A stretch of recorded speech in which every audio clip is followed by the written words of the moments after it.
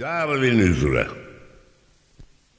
Devrimcilik gibi şairlik de inen darbeyi duyabilmektir kaslarının liflerinde.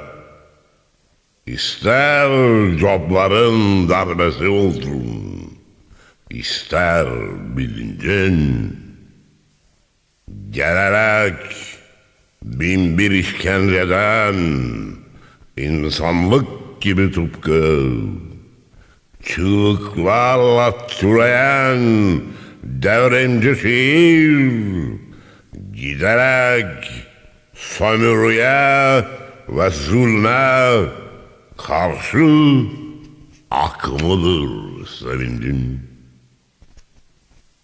Hani gayret tepeden verilip verilip de dal bedenlerimize elektrik tam bedenlerimize elektrik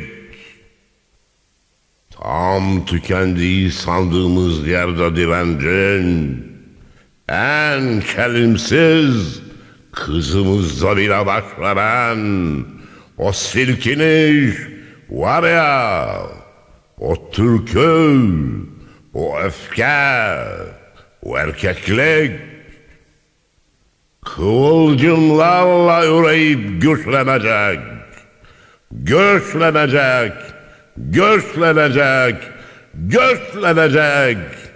Ve de birden tepti miydi geriye, tepti miydi o yüklü yürek, gözüne, yuvasına, kaynana zulmün bir gök gürültüsüdür, bir şimşek, bir sevinçtir, akıp gidecek şebeklerin sigortası atıncaya dek.